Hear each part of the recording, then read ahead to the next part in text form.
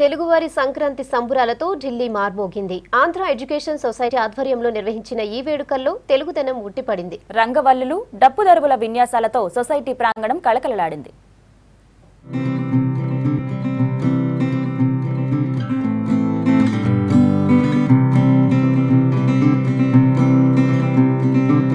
New ఇయర్లో తొలి పండగ సంక్రాంతి సంబురాలు అప్పుడే మొదలయ్యాయి.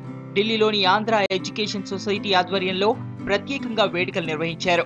అందమైన ముగ్గులు అంతకు మించి తెలుగు సంప్రదాయం ఉట్టిపడేలా సాగిన ఈ కార్యక్రమాలు అందరినీ ఆకట్టుకున్నాయి.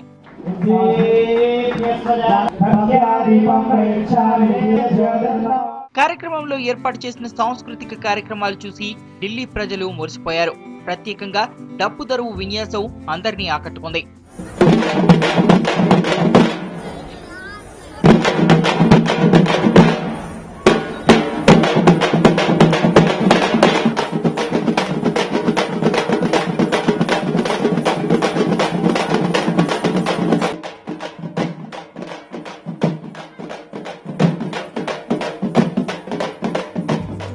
కార్యక్రమానికి ముఖ్య అతిథిగా హైకోర్టు ప్రధాన న్యాయమూర్తి రోహిణి హాజరు కాగా విశిష్ట అతిథులుగా ప్రముఖ నటుడు రచయిత గొల్లపూడి వేదికపై సందడి చేశారు. ఈ సందర్భంగా మాట్లాడిన వక్తలు సంక్రాంతి పండుగ ప్రాశస్త్యాన్ని ఆహుతులకు సవివరంగా వివరించారు.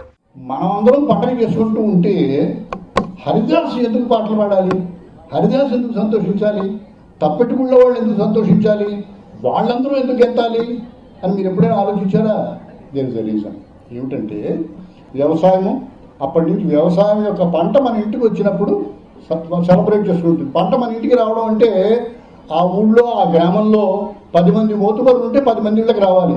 కానీ గ్రామం అంతా ఎందుకు సెలబ్రేట్ చేస్తుందంటే మనకి ఇవాళ మన దరిద్రం కొద్దీ జేబు నిండా రూపాయలు ఉన్నాయి కానీ మన తరం వాళ్ళకి మన ముందు తరాల రెండు మూడు తరాల వాళ్ళకి వాళ్ళకి కరెన్సీ లేదు.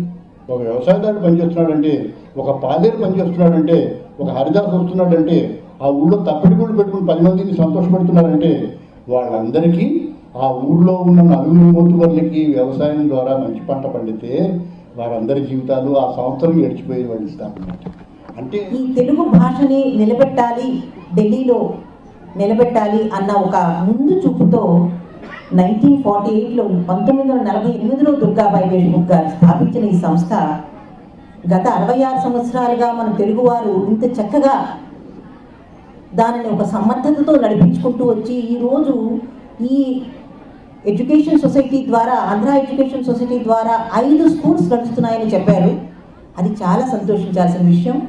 అంతకంటే ముఖ్యం ఏంటంటే వారు మన సంస్కృతిని ప్రతిబింబించేలాగా దాన్ని సాధిస్తున్నారు. తరాలు మారుతున్న సంస్కృతి సంప్రదాయాలు కాపాడుకునేందుకు ప్రతి ఏటా ఈ ఉత్సవాలు నిర్వహిస్తున్న ఆంధ్ర ఎడ్యుకేషన్ సొసైటీ భావితరాలకు పండగల చరిత్ర వివరించడమే తమ లక్ష్యం అంటోంది. ఇక మీదట కూడా ఈ విధానం కొనసాగిస్తామని చెప్తున్నారు నిర్వాహకులు.